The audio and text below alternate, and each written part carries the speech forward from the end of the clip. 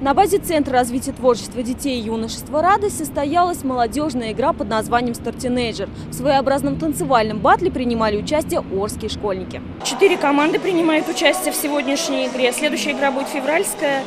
Критерии оценки – сплоченность, выдержанность э, формы и содержания, чтобы команда все, потому что тема сегодняшней программы «Кто во что гораст». Они должны выдержать тему на протяжении всех конкурсов. Расскажите, что вас подтолкнуло принять участие в таком мероприятии?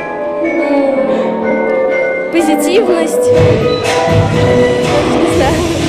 Ну, как бы мы собираемся все время, э, репетируем, и это очень нравится нам.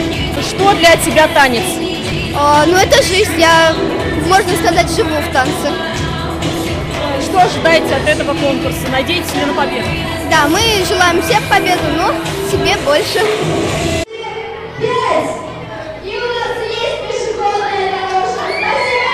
Отборочная игра. У нас в течение учебного года проводятся две отборочные игры и затем финальная игра. Команда-победитель проходит следующий этап. Они проходят следующий этап и в апреле принимают участие сначала в городском финале, а потом едут на областной.